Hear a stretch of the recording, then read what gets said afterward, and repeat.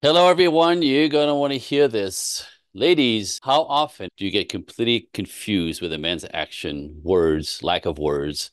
And gentlemen, how often are you completely baffled with what she concluded that you meant, that you said, that you didn't say, that she, I get it, men and women. My name is Andre Parody. I've been studying men and women since 2006, decoding the dynamics that bring us together and the, the things we don't know that breaks us apart, that makes us fight each other. So I have an event, and the link's going to be below.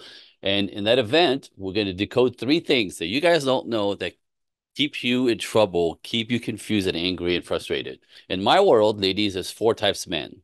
One type you have to avoid at all costs. These are the players, these are the cheaters. The rest of them are good. They look the same, different people. On the other side, gentlemen, there are four types, ladies. Also, one or two you must avoid at all costs if you want to build something healthy. Interesting. Second thing we'll discuss is there's four things you have to have for a relationship to go healthy long term, like 30 years plus. Four things. And by the way, love is not one of them. Love is a product of these four things.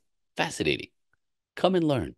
The third things we're going to talk about is understand that men and women speak and listen completely differently.